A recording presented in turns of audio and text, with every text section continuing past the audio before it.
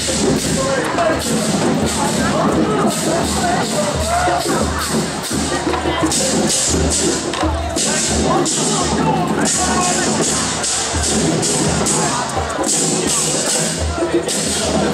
gonna go get some more.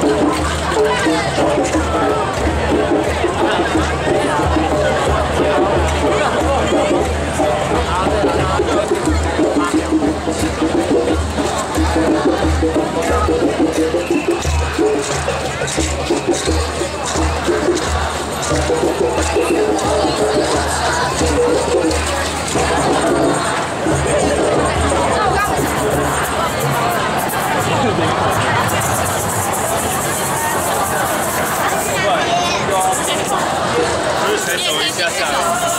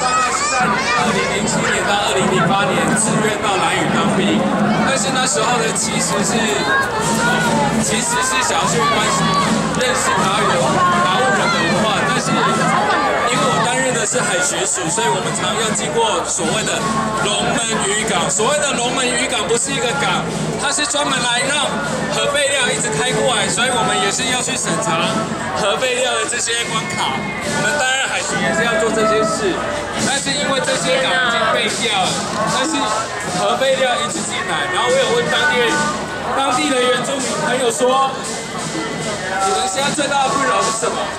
他们说，现在现在所谓中年人，大概四五十岁的这些人，他们担心后面的人没有继续来买。